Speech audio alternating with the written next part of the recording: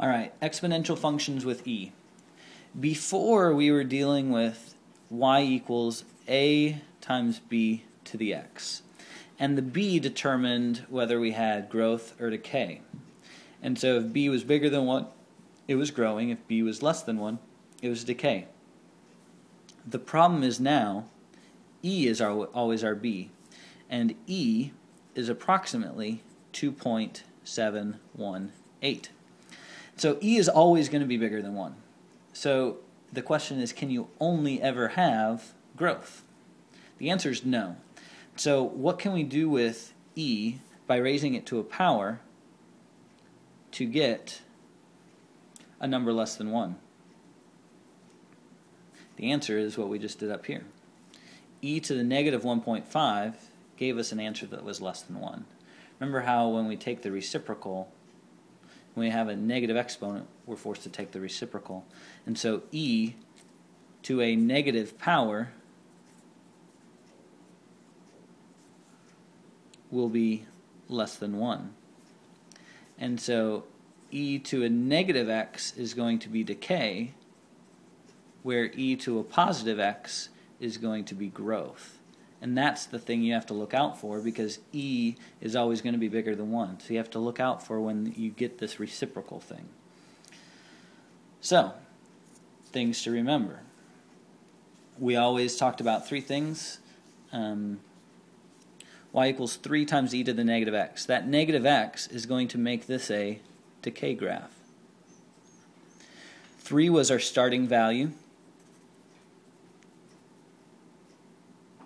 Your initial value. And so we start at 3, 1, 2, 3.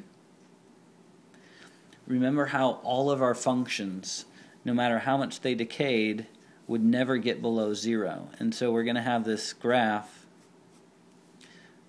of 0, comma 3 and y equals 0 as our asymptote. And then it's just going to decay.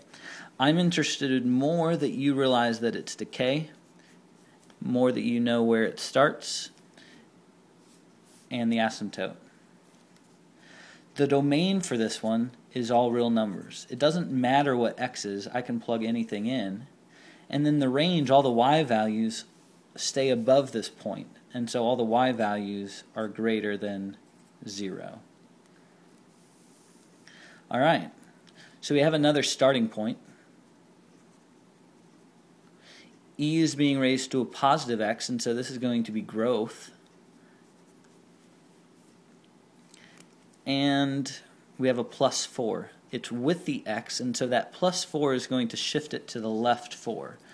And so even though this 2 was our starting value, it's going to shift 1, 2, 3, 4 to the left. Our horizontal asymptote is still y equals 0 and now it's going to grow.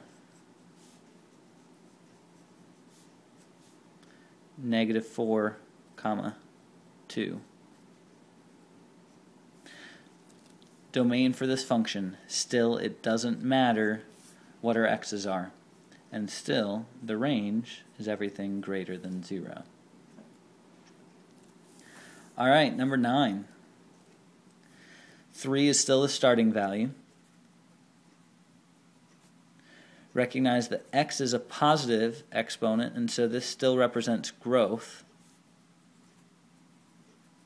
And so it's still going to grow like the, the second one here. And then this minus 2 is with the x, so it's opposite of what we think it should. It, it actually moves it to the right. And the plus 4 affects it vertically and moves it up 4. And so we go up one, two, three, four.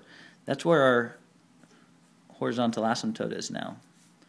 y equals 4. Our starting value was at 3. 1, 1, 2, 3 is where it was, but it also shifted up 1, 2, 3, 4. So notice that it's still 3 above our horizontal asymptote. And then it shifted to the left. So relative to our horizontal, it's gone up 1, 2, 3. Same starting value relatively. And then 2 to the right. And we said it was growth and so it goes like that. This point is 2 to the right and up. 7. 1, 2, 3, 4, 5, 6, 7. Our domain is all real numbers still. But the range now, all the y values don't start until our horizontal asymptote here. And so y has to be greater than 4. We'll come back and talk about the continuously compounded interest.